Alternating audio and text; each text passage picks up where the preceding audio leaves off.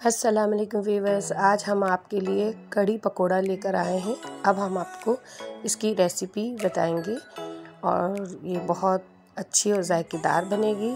हमारे तरीके से आप ज़रूर बना के देखिएगा और हमारे बनाने की तरकीब से बनाएँगे तो इन आपको पसंद आएगी। ये हमने बेसन लिया है, डेढ़ कप लेंगे इसे। ये हम अभी कड़ी की तैयारी कर रहे हैं। एक टीस्पून ज़ीरा, एक टीस्पून लाल मिर्च पिसी हुई, एक टीस्पून हल्दी और एक टीस्पून नमक।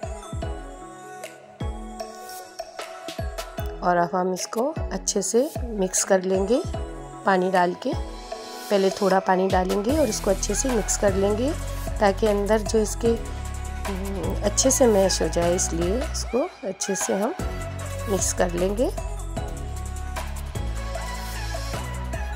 फिर हम इसके अंदर ज़्यादा पानी डालेंगे और इसको हम 15 से 20 मिनट के लिए रख देंगे ताकि बेसन अच्छे से फूल जाए।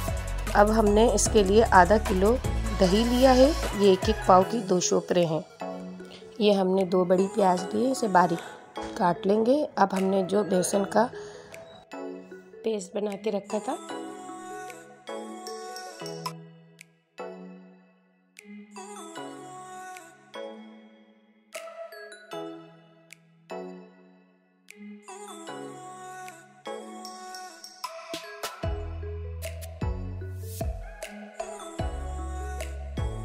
तमाम चीज़ों को हम ब्लेंडर कर लेंगे।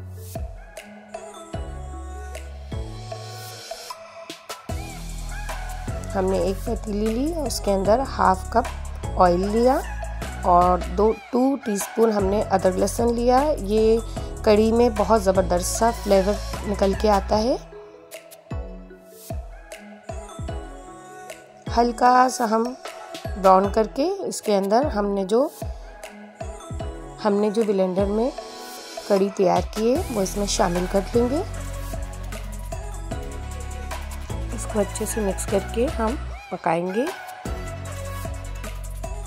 पाँच छः मिनट। उसके बाद इसके अंदर हम पानी शामिल करेंगे।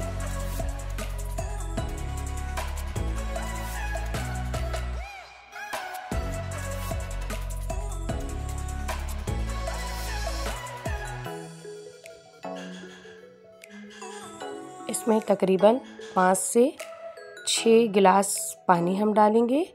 तीन पहले डाला था और तीन अभी हमने डाला है और इसको हम मिक्स करके पकाने के लिए रख देंगे।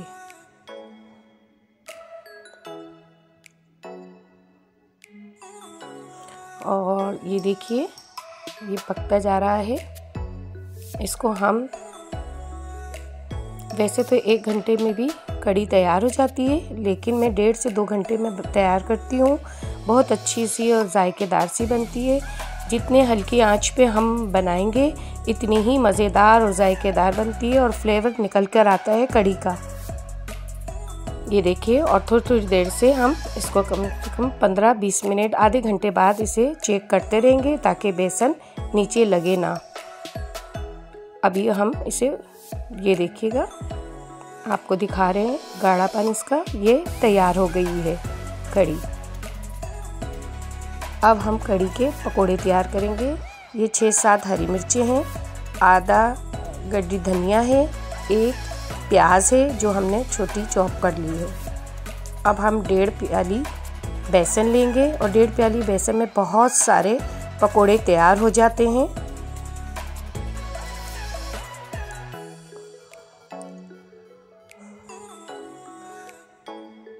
ये हमने इसमें शामिल कर दी, जो कटिंग करके रखी थी, तीनों चीज़ें।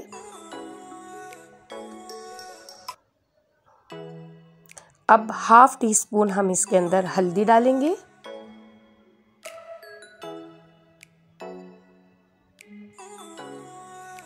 हाफ़ टी स्पून हमने कुटी हुई मिर्च डालेंगे। वन टीस्पून ज़ीरा डालेंगे।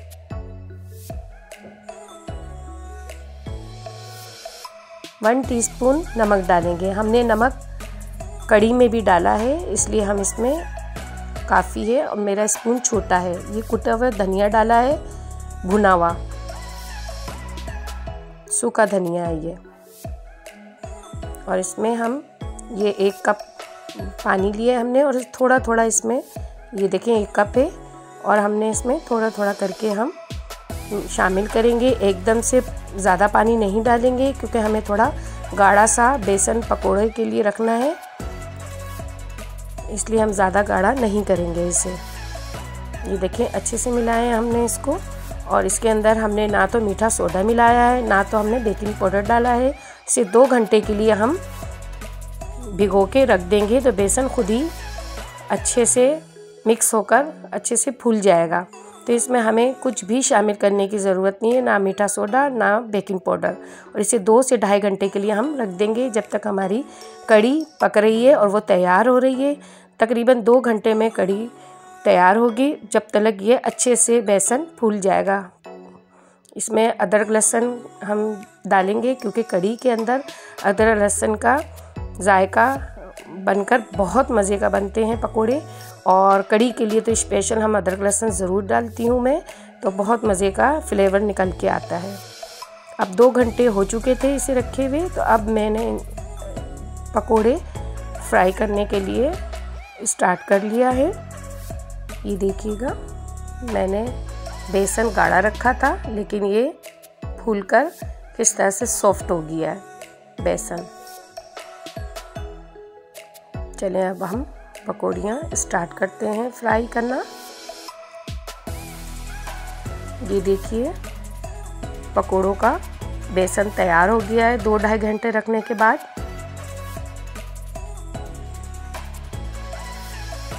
चलिए हम पकोड़ों को फ्राई के करना स्टार्ट कर देते हैं।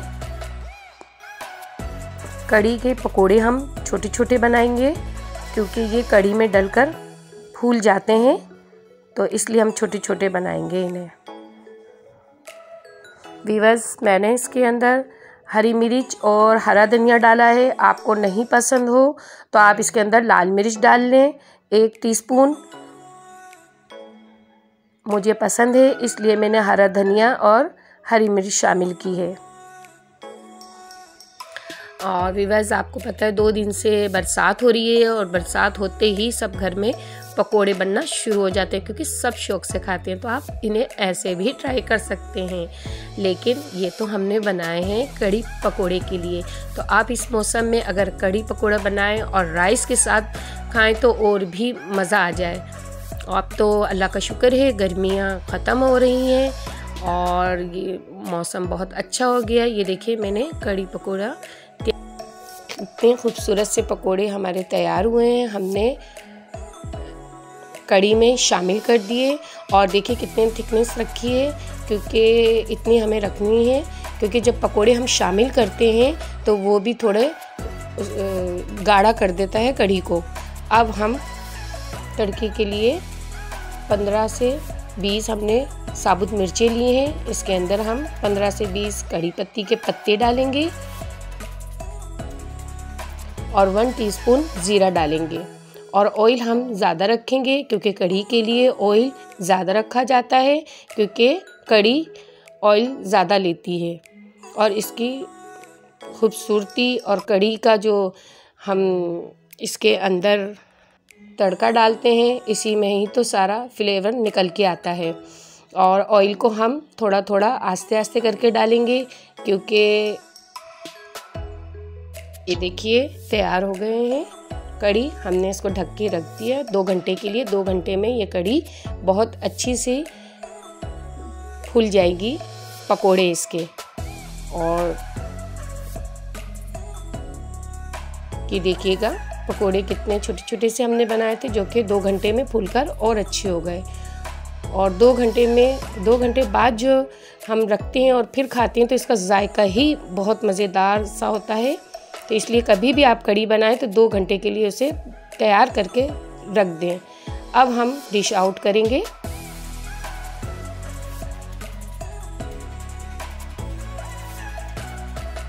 मैंने इसके अंदर बेसन के अंदर जब ब्लेंडर किया था तो कड़ी में तो हरी मिर्चें डाली थी। अगर आपको हरी मिर्चें नहीं पसंद तो दो टीस्पून लाल मिर्च भी आप पिसी हुई डाल सकते हैं ब्लेंडर के अंदर।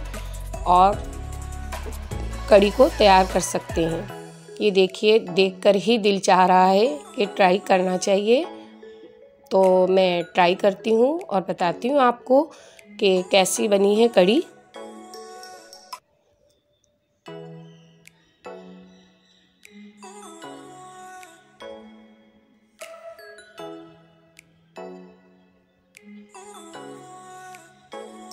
और विवेश जब आप मेरी तरकीब से ज़रूर ट्राई करिएगा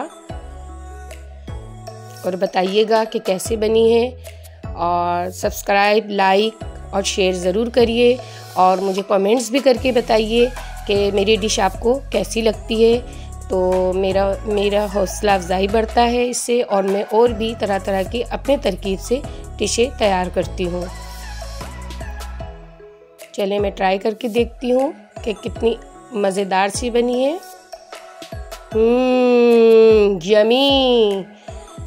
आप ज़रूर ट्राई करिए, मुझसे तो रहा ही नहीं जा रहा। राइस तो बाद में तैयार होंगे। पहले मैं ट्राई कर रही हूँ।